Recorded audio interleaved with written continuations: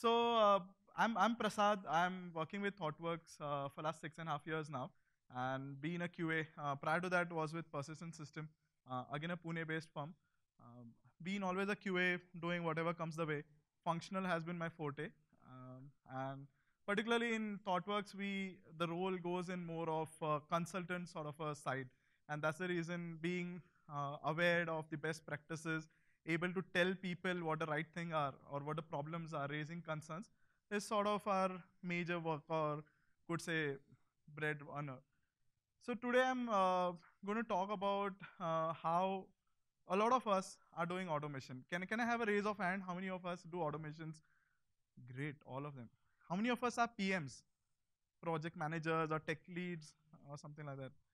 Great, great. Um, so I, I think in, in all of our career, right, a lot of times we get into a situation where either we have to start an automation for a legacy system or we have to take a legacy automation and then go ahead.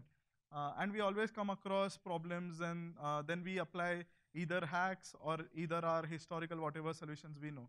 Uh, I, I, think uh, they, they save us, uh, they, they do help us for some time. However, on a longer run, uh, they do fail.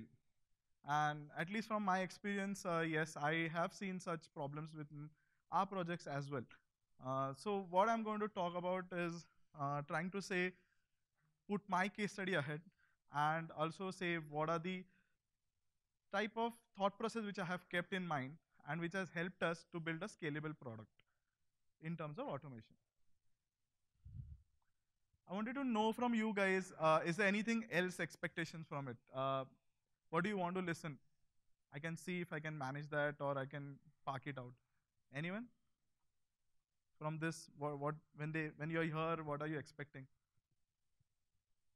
Something, right? Something, no? Blank slate, I can fill in anything? Great. Uh, I'll take it as uh, golden silence as yes.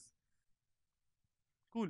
So we had a raise of hands and we had a lot of people say why we automate, right?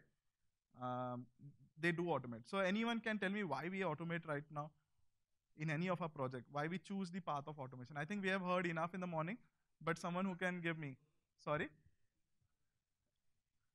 Perfect, maybe, uh, not boring for everyone maybe, but yes. Reduce time, save time, stop doing the redundant work, faster feedback, right.